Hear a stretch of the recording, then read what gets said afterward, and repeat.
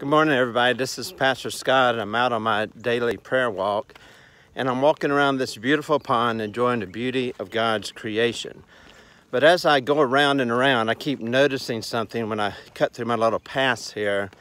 And of all things, laying right in the midst of all this beauty is a, a dirty sock, probably a sock that a kid dropped off, you know, after going to the pool or something. But I'm going to show it to you because the dirty sock is something that God showed me about myself.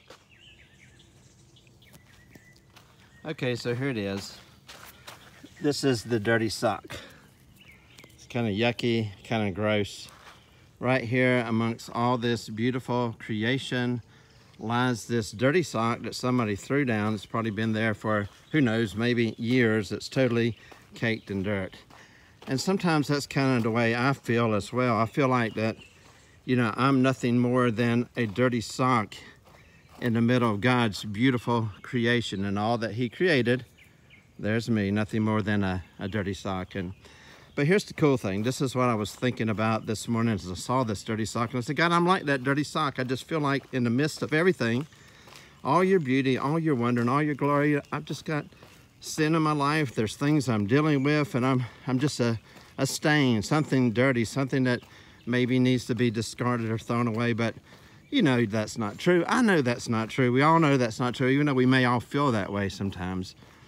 And here's the beauty of it. God said, you may be nothing more than a dirty sock in the big picture and the beauty of my world, but you are a dirty sock that I called out, I picked up, I cleansed by my Holy Spirit, I sanctified by my Holy Spirit, and I filled you with authority, according to Acts 1 8, that you have the power of the Holy Spirit within you, filling you to do a great and mighty work. So we may just be a dirty sock, but man, we're a dirty sock that's filled with the glory and power of God.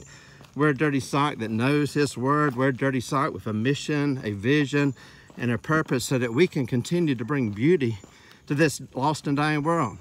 We can help the world see, yes, the beauty of God, to see all the beautiness of His holiness, and to help them understand that they too can be cleansed. We can be cleansed from our sins. We can be cleansed from our filth. So you know what? I just have to say, you know, I may be nothing more than a, a dirty sock, but I'm a dirty sock that's cleansed. And I'm a dirty sock that's empowered by the Spirit of the living God. So I want to encourage you in that. I want to encourage you today to go out and be filled with His Spirit and to do all that God has called you to do. You're cleansed, you're holy, you're made righteous. You're in this transformation process and you're empowered by the Holy Spirit. So go out and make a difference today.